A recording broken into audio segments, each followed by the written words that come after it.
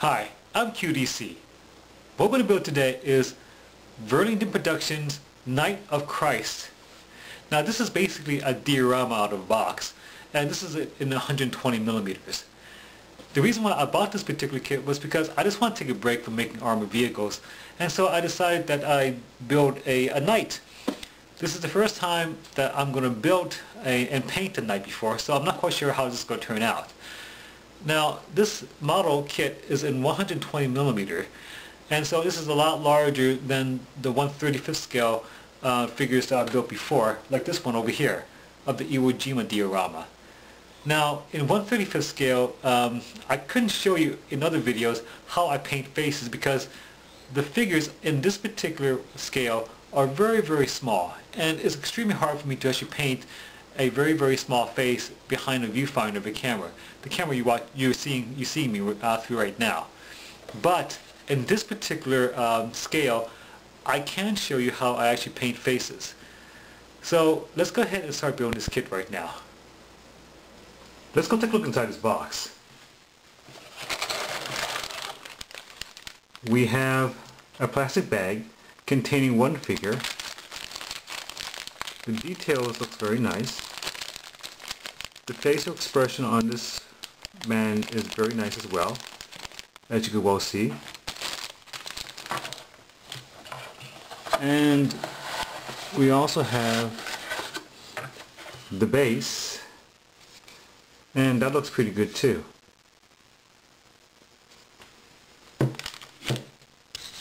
I want to talk to you more about the details of this particular kit. The, this kit all these parts that I'm pointing at, they're made out of resin, not made out of plastic. And one of the advantages of using resin is that the details are much more exquisite than using plastic. Now, the chainmail on this man's leg that I'm pointing at, you notice that the details are very, very fine, um, not rough. Now, since these parts are made out of resin, I cannot use ordinary plastic model cement because they won't glue together. So either I need to use super glue or what I'm going to use today is epoxy glue. Okay, so in this particular kit there is no instructions in here so going to have to take a look at the pictures in order for me to figure out how to put the model together. The good part about it is that in this particular kit there isn't like a lot of parts in here so gluing it won't be much of a problem. Now, um, you can use ordinary tools for plastic to make this, uh, to cut the resin, um, to cut the resins out, and that's not going to be a problem. But there is something that I want to point out to you though. When you sand these, uh, this resin kit, there's going to be a lot of fine particles and dust, which can be toxic. So you should use a dust mask when you work with resin kits.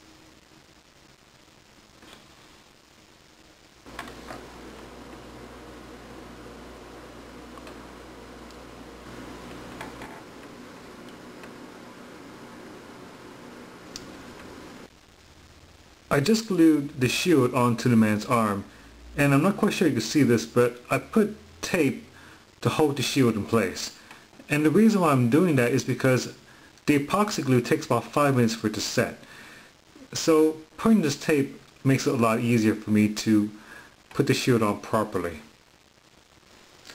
Alright so I just assembled the figure now it's time for me to paint the figure.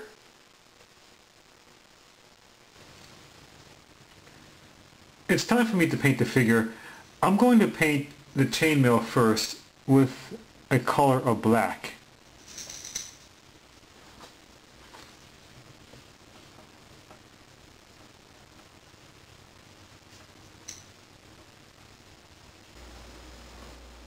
I'm going to dry brush the chainmail with gunmetal color Now, there's something I've got to tell you.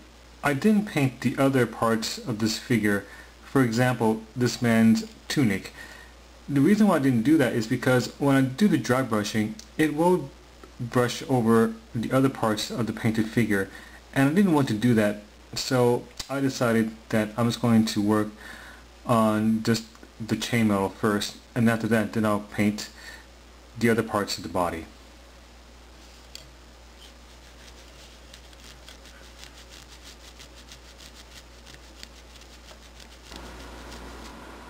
I just dry brushed the chainmail and it looks pretty good. Very realistic looking. Now it's time for me to start on the tunic. The tunic itself is supposed to be pure white, but there's a problem. If I paint the entire tunic pure white, that means that I cannot use uh, highlights because the highlights on clothes, the, the brightest color can be pure white. So I have to paint the entire tunic with a darker white, an off-white.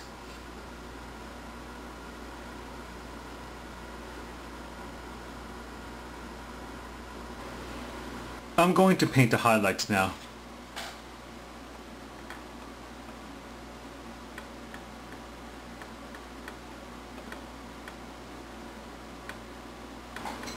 I just finished painting the, the white highlight.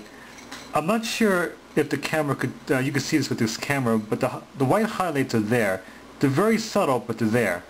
Now it's time for me to paint the shadows, and I'm going to paint the shadows using a gray color.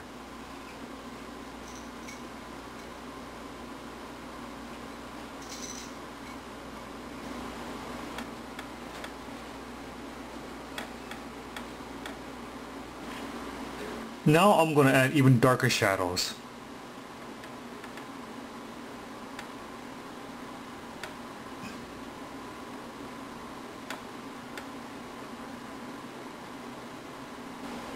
I'm going to paint the cross.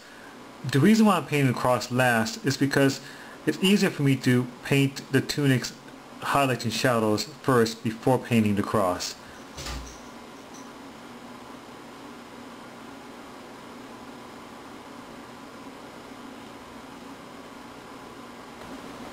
I'm going to paint the face. I almost already painted the eyeballs and now it's time for me to paint the light shadows. The light shadows will be on the cheeks, right here, underneath the nose, the crow's feet, the forehead, and a little bit under the eyebrows.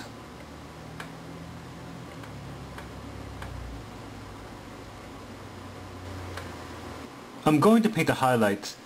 The highlights will be um, painted onto the man's bridge of his nose, the forehead, the cheeks, the lower part of his lip, and just the tip of his uh, chin.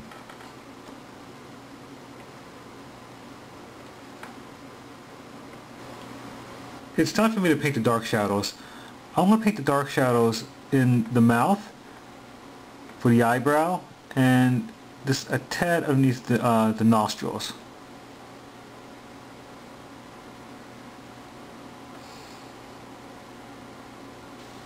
What you're looking at right now is the base.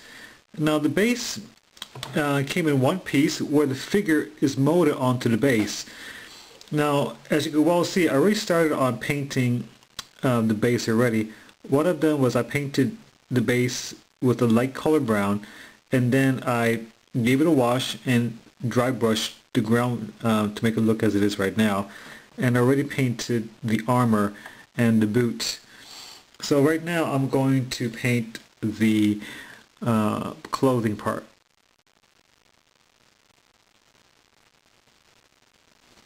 I just finished painting the dead man's face and it looks pretty good.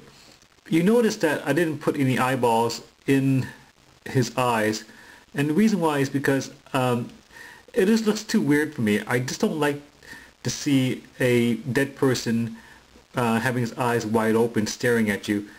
Um, it's a matter of taste. For me, it's just too weird, so I just left the eyeballs out.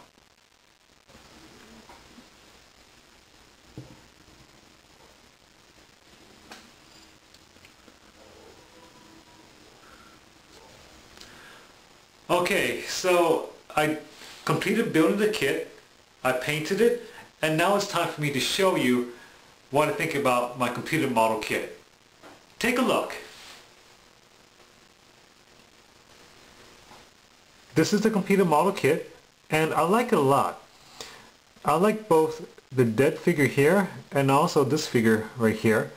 And one of the things I am amazed about Verlinden Productions is how they mold the figures. This particular figure is molded as one piece along with the base. And after I painted the figure, it looks very, very impressive. It looks very realistic. And also like the figure um, of this guy right here.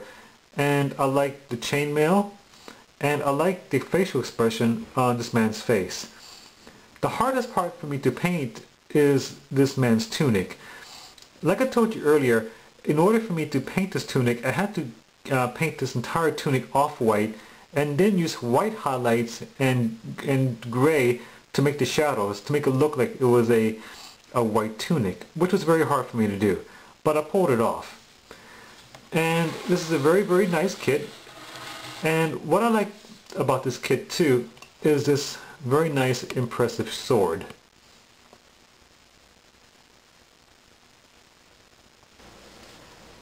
That completes this model kit.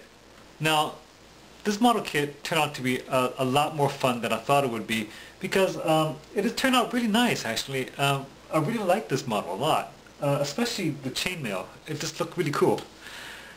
Now what you're about to see next is a video slideshow of my entire complete model kit.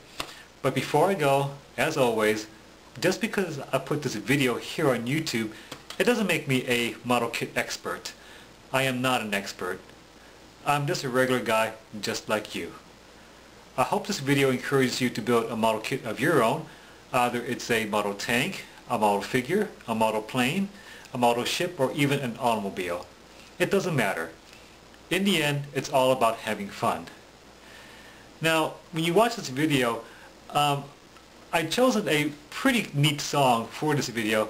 I accidentally found this particular song as I was working on this particular model. I turned on the radio as, I was building this model and I found this really cool song uh, from Coldplay called Viva La Vida. It's a very um, unusual song in which when you hear the, uh, the song itself, it, it sounds like an upbeat religious song, but if you carefully hear the lyrics, um, you realize that the song talks about really um, um, a, a, king really being overthrown by his own by his own people, and I thought this was very very appropriate for this particular model. So um, QDC, thanks for watching, and please have a great day.